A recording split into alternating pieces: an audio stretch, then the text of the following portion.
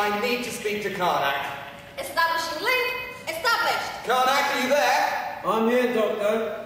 Things aren't going so well for us down here, I'm afraid. In the unlikely event that something untoward does befall us, it's all down to you, Karnak. Blow the station up if you have to, if you can. I'll do my best. Never say die, though, Doctor.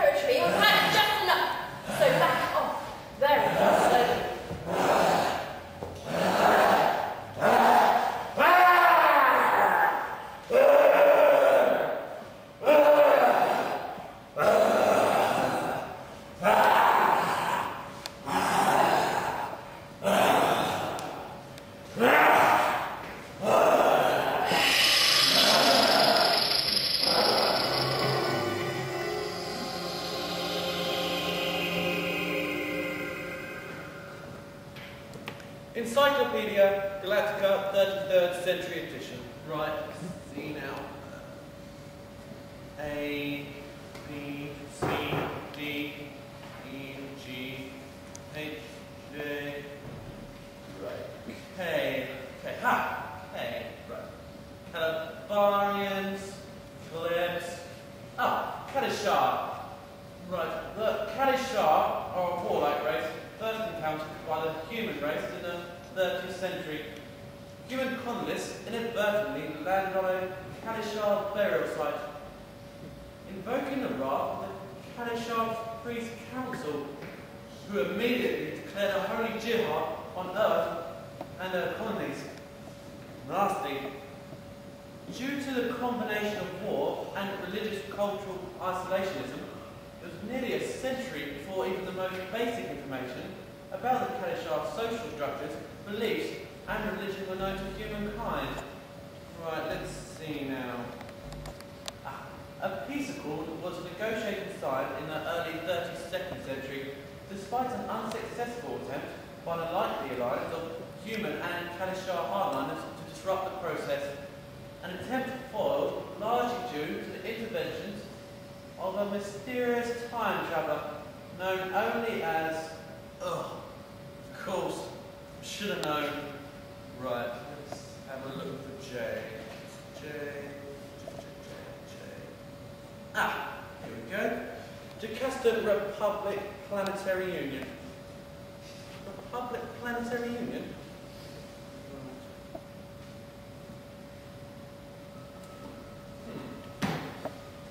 Right.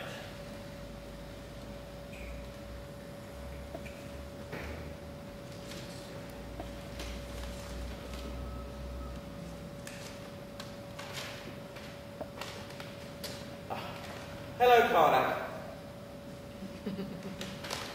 if you're reading this, it means that your curiosity has got the better of you, and you've decided to peek ahead and see how it all works out for you. Sorry, dear chap, but I can't allow that. Rules, after all, are rules. I've clipped the pages pertaining to your history and placed them somewhere safe. I do hope you appreciate that this is for your own good. Your friend, D.W. I don't believe that. That is so typical of him.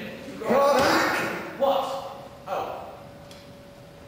Are you all right, Doctor? Well, things have been better. Two of our charming soldier friends had to employ Captain Turbo's choice idiom, bought the farm.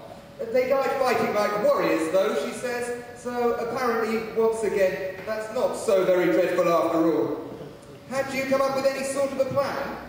Well, not exactly a plan, no. I was just doing some research and I had up the... And while you were at it, you were sneaking a peek at your own fate? Hmm? You think you're so clever. That may well be true, but cleverness is not always enough, Karnak. Sometimes a keen intelligence and an admittedly pithy, slicing wit are not always enough. Sometimes it's only a single act of noble, selfless heroism. Or, to put it another way, a gullible idiot like me. Oh, life isn't a game of chess, you know, Doctor. I'm not a pawn you can just sacrifice when and how you like. Yes, dear chap, as much as I really would like to talk all that through with you, I'm afraid we are rather up against the clock. Hmm? We have to quote the captain, once again, something of a situation. Even without the Kalashar, Dr. Medzavorian clearly has no intention of shutting down the particle accelerator from your end.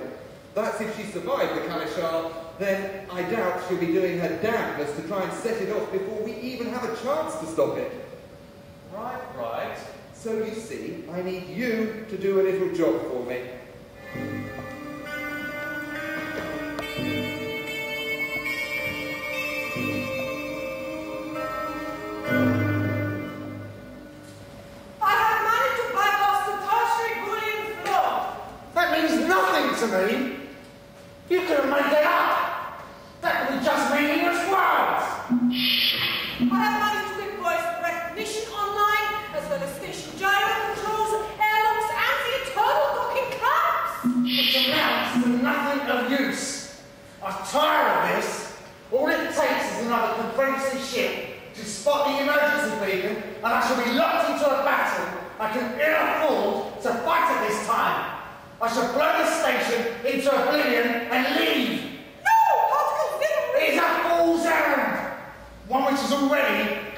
Cost too many of my men, and I still don't trust you, Doctor.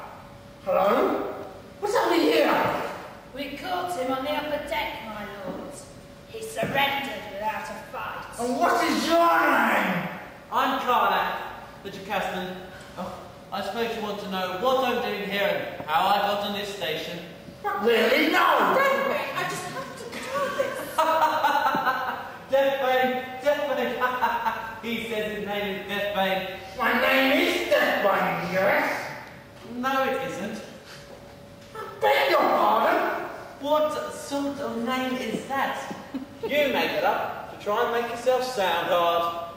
Take him out and hang him shot. Take her too. We're wasting enough time here. It's called the ceremony of Pankajar, isn't it? Did I pronounce that right? What? The ceremony of Pankajar. You fought beneath the statue of Chinook, the snake god. You fought with your best friend, and you killed him, and you smeared yourself in his blood, and then you shouted, For Chinook, I stand friendless and alone. The child, whatever your name was, is dead, and the warrior, insert new name of choice, Deathbane in your case, is reborn in his place. And you chose Deathbane. What does that say about you, really? It says you're probably going to die as messy a death as your famous namesake. Oh, how is that? I want to know. Please tell me.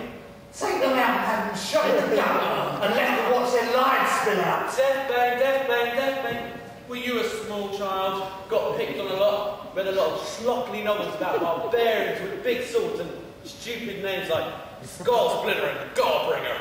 and thought, hey, if I'm not going to be any good with the ladies, I might as well have myself a stupid macho name.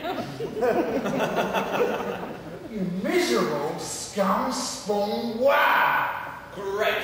I invoke Khan Durakar. You invoke what? You make dangerous jokes. No joke. You're a war chief. That means you're of a noble house. I'm a prince. That means I am of a noble house. And if I'm insulted, then scum spawned worm is pretty much an insult in anybody's book. I can issue a challenge when, where, and how I like. You are no prince. Royal seal of the House of Ronan. That was lost centuries ago. Nope, it's right here. That was lost centuries ago when Karnak the First died. Look, you don't have to rub it in. I have enough proof to issue a challenge, and so I'm doing it. So tell me, are you really going to break one of the most sacred laws in front of your own men? Very well. However, computer, Waiting to comply. it works. Show me the Confederacy ship docked on the lower rings.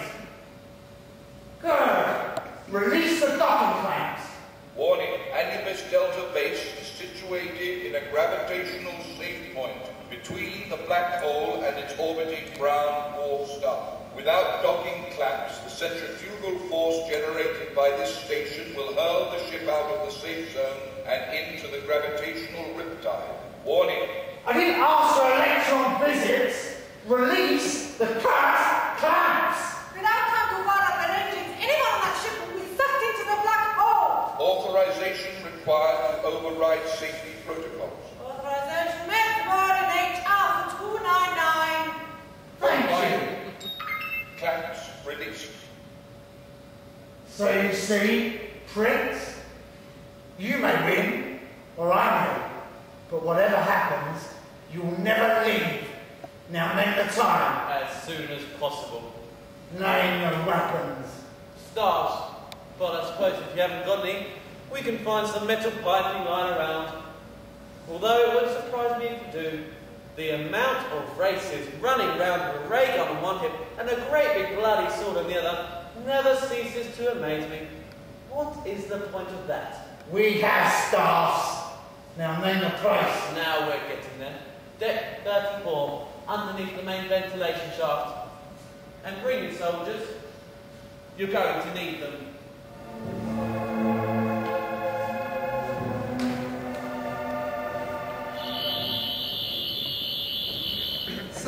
Station was not originally constructed here in orbit? Around a black hole? No, we're not so far from the event horizon that anyone would be stupid enough to try that. A, Anubis Delta base was originally built to fly on its own power. Are the engines still operational? Taken offline and salvaged for parts years ago. Uh, ZPE generator came from the engine core actually, and ship's navigational systems were turned over to stellar cartography and deep space scanning and so on. And remains are the gyro controls. I'm worried, Doctor. Yes, yes, I'm sure.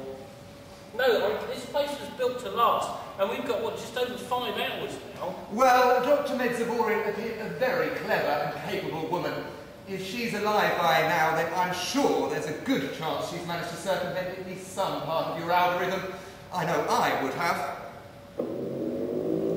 Ah, I see the servo lifts are operational. So I expect we have rather less time than that after all. Pass me the optical processor. Thank So- you. Even if we can get past the monster of the doctors, the other doctors, then it's not just a question of hitting a big switch with off printed on it. Everything, every system is tripled up for safety. Even the two of us working together, we won't be able to shut it all down in time. I realise this, dear boy. That's why we're using Plan B. Plan B. we have a plan B. What's this about Plan B? Ah, oh, marvellous! You're awake, Captain. Yeah, I am. And what's this about Plan B? I'll let you know once I finish this. Got it! I've constructed a short-range EMP grenade, good for one use only. When it's set off, it will generate an electromagnetic pulse in the 15 to 25 teracycle range, which should wipe the smile off that creature's face. If it had a smile, of course, or a face for that matter. Great! We can fry that thing's hard drive! Yes, however, everything is not perfectly well in the garden. The blast radius is a less than impressive four feet. And while the four of us will be fine, Penny, of course, will be vulnerable. Anybody that gets that close to that thing is going to themselves killed. They might not even get a chance to set it off. That's why, dear lady, I have taken the precaution of setting up a little diversion. They should be here any moment now. Help! No, no, not precisely help, no. Ah, our lookout returns. Another two decks, Doctor. They're coming. They? Who are they? Why, the Kalashar, of course. You brought the Kalashar here? Credit where credit's due. Karnak did, actually. He can be a very brave and resourceful young man when he puts his mind to it, although he will insist on hiding his light under a bushel, and a particularly large and oafish bushel at that. Not that it's in my nature to pass judgment, of course. You brought the Kalashar? Here? Do try to keep up, Captain. Hmm? Look after this with your chap. And tell Karnak to keep the Kalashar waiting here as long as he can. I shall be back soon. Where are you going? Dear, tis a far, far better thing that I do than I have ever done before. Actually, that's not in the slightest bit true. Oh well, goodbye. He's going to get us all killed. Don't worry. Everything's going to be just fine. Do you have ammunition left? I used it all. We are so gonna die. Thank you.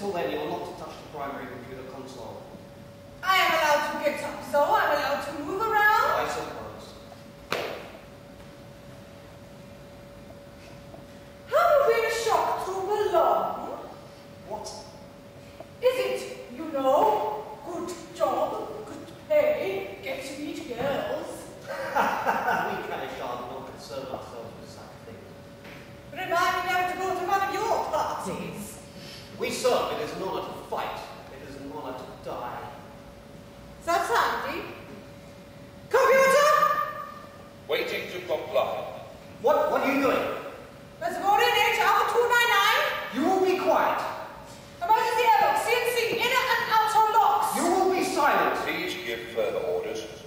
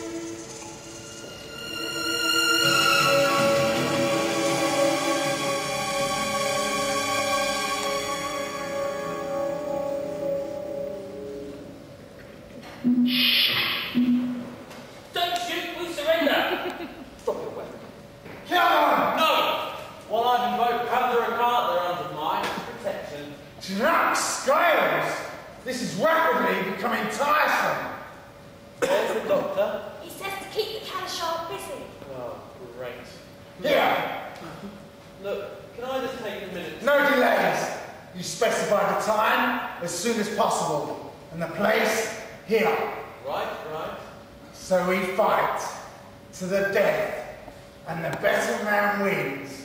And then I go home. Oh, he's confident. Isn't there some something lengthy involving tea, perhaps? No. How about famous last words, that sort of thing? Do you concede the victory then? That's the point. What happens then? I shoot you. Perhaps not. Are you prepared? Well, I guess so you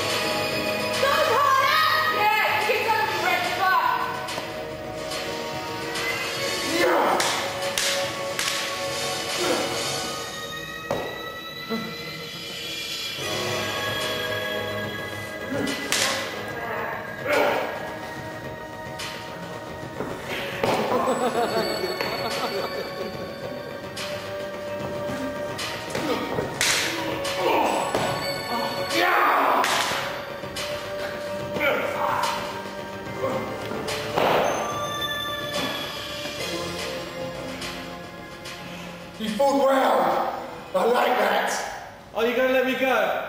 As a mark of respect? I'm afraid not. Karnak, dear boy, so pleased to see you. And this is? Doctor! Huh? Oh, a child, I'm sure. Please, dear boy, this is no time to be lying around. I recommend action and perhaps a shower. What is happening here? Oh, and you must be... Oh, not that it matters anymore. I say, what a fabulous cloak. Such marvellous material. You will answer me. Yes, yes, I'm quite familiar with the routine. I have a gun, you are in my power. Oh, given the choice between a simple killing and boring me to death talking about it, I have found my nemesis will inevitably bump for the long lingering death threat. No doubt you feel the need to warn me that um, resistance is useless. Resistance is useless. Oh well, there you go then. What is that? that, that's Dr. Medzavori's chimera, or the cavalry, depending upon one's point of view. Ah.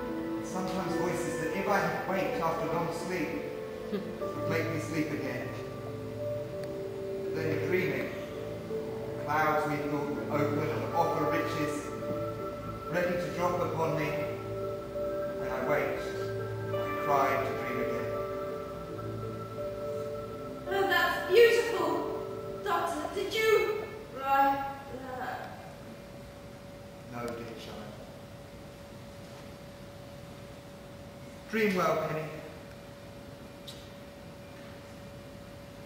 Can't you fix her? There's nothing to fix, Karnak, dear boy. She died as well as any who have ever lived, and happily. One day you may do the same. So I keep hearing. This isn't about you, Karnak. There you go! We don't have time for you to stand here and We never do. We should get to my ship. I may not be the greatest pilot in the SSI, but I can get us away from here, take the place out with a few missiles, no more into the universe. No, you can't. We can't. Why not? Yeah, why not? That thing's dead, right? What's stopping us? Deathbane, the one I was fighting, he blew the docking clamps. Your ship's probably squeezed tighter than an atom by now. Quite. Karnak, that shows a frankly shocking misunderstanding of the properties of space-time under a heavy gravitational distortion. No, that's not the problem. How did you undo the docking clamps? That was meant to Brian. She unlocked the voice recognition, the gyro thing. We ourselves saw the servo lift go on earlier. That's an ancillary system. Docking clamps are part of the core systems. She can hack her way through to the particle accelerator at any time. Oh, well, no rest for the wicked.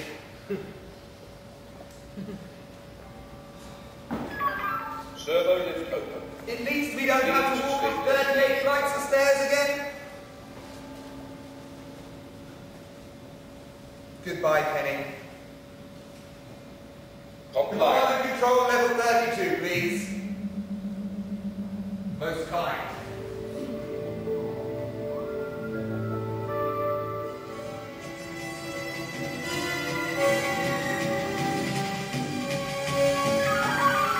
Beginning emulation subroutine, the Mezovorian Gamma 284.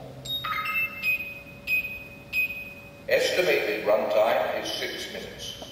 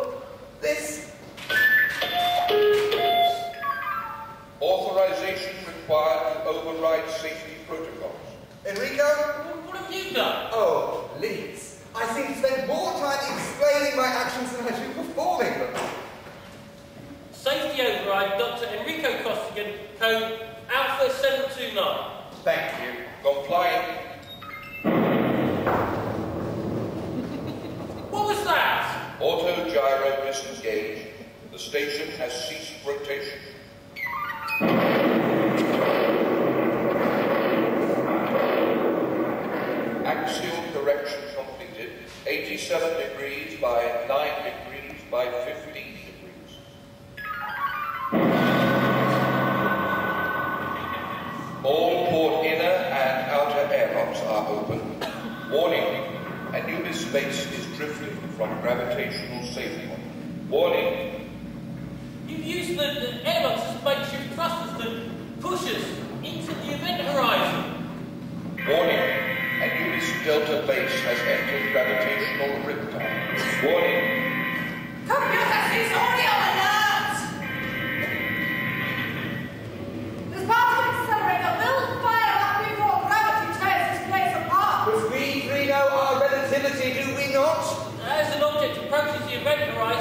horizon, it accelerates. Very good.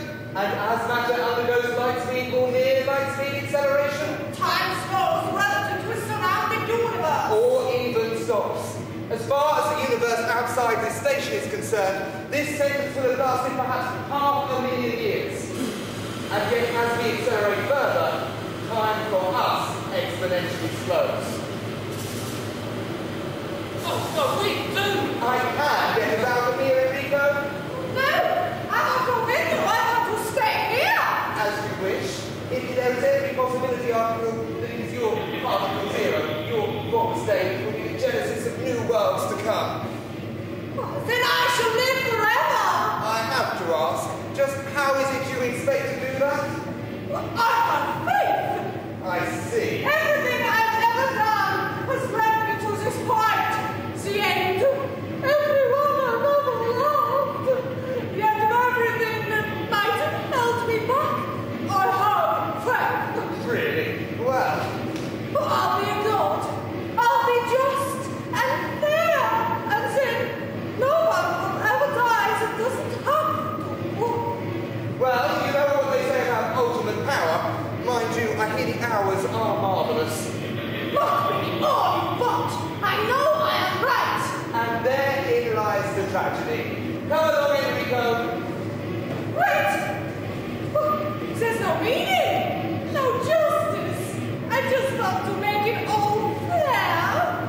dead girl, 32 deaths down from here, knows rather more about meaning and justice than you ever shall. We shan't meet again, Doctor. Oh, oh.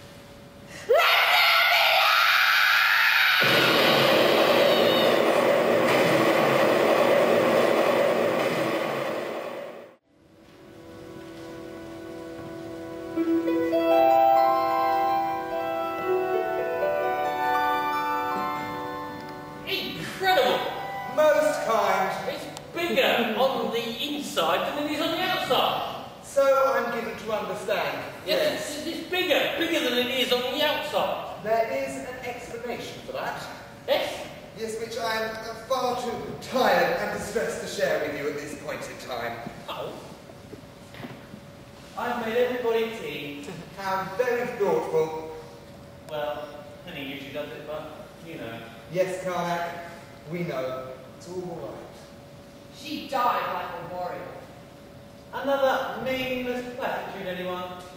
You know, I am reviewing Children, thank you. For once, Karnak, and you'll be as surprised to hear this as I am to say it, but I'm with the captain on this one. What? Penny made a choice. She gave her life willingly and nobly. It is sad, but not without meaning. Everything ends. An understanding that Dr. Mezzavore was unable to reach. The important thing is all ends well. Do I? End well, Doctor. I shouldn't be telling you this, but yes, yes you do. You end very well. And not where the history books say either, which is why I would rather you didn't go looking it up and spoiling it all for yourself. Have you heard of Macbeth?